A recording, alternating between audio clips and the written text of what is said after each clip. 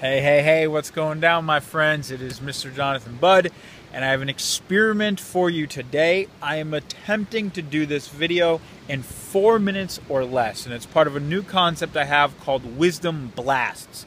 And what I want to do is I want to take the wisdom and the knowledge and the enthusiasm and the energy and the inspiration and all the things that I'm cultivating on a daily basis through my entrepreneurial journey and I want to share them with you in hopes that you find some relevance and you find something powerful and uplifting for your own entrepreneurial journey and career out of the brief moment of time we have together. So, with that out of the way, I probably only have like three minutes left.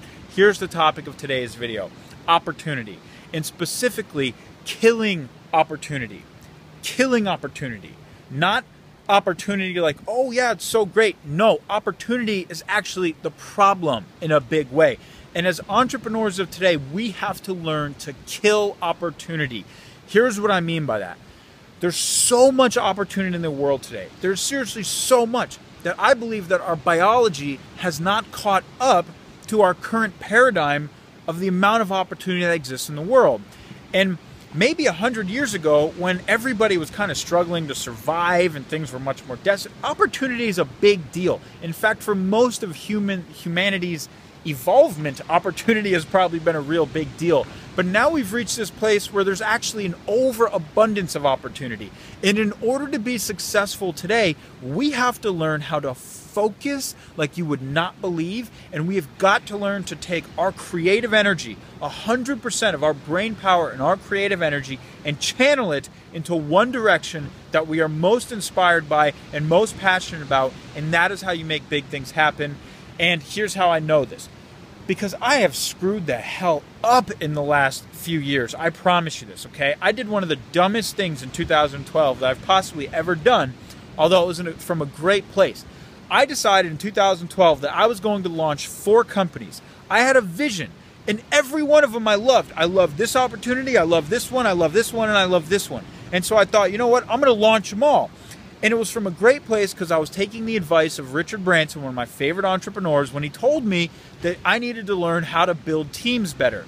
So I had a great intention. I thought I was forming right partnerships, building teams. But the problem is, I was immature in my approach to building teams. And I didn't yet really know how to build teams. And so a lot of the things that I thought were going to happen by team building didn't actually happen. And what really happened was that my creative energy just got spread so thin across all these different projects that nothing actually really got my full creative my full creativity, my full, you know, vision, my full heart, my full soul. And this is a tragedy. This is killing us. We are wasting so much of our time and energy and creativity here, here, here, here. What I've now realized, how am I doing on time? Oh my God, 50 seconds. What I've now realized is that I have got to pull it all back in and I've got to focus. I've got to learn how to kill opportunity. And the universe has continued to challenge me. Just in the last week, I probably got pitched five times, you know, be the master distributor for this company, come be our partner over here, let's JV on this, all these things. And it's just testing to be able to kill opportunity. Can I remain crystal clear and amazingly focused on my vision, the most important thing in the world to me, whatever it is, it inspires me most to get out of bed every morning. Can I give 100% of my creative energy to that? That's the challenge. That's the test of our times.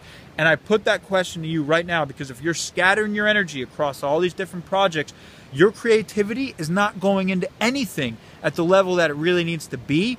And if you really want to blow it up and do the biggest thing you've ever done, take 100% of your brain power, put it in one thing, and never look back. All right, peace, my friends, and get back to work. Woohoo!